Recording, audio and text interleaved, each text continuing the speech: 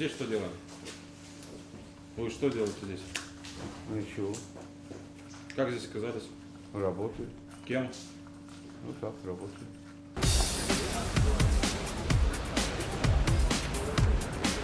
Можно посмотреть, я скажу, что это. Вот. Ну, а, это, это как его? Даются. Ну ладно, сейчас разберем. Я досматриваю.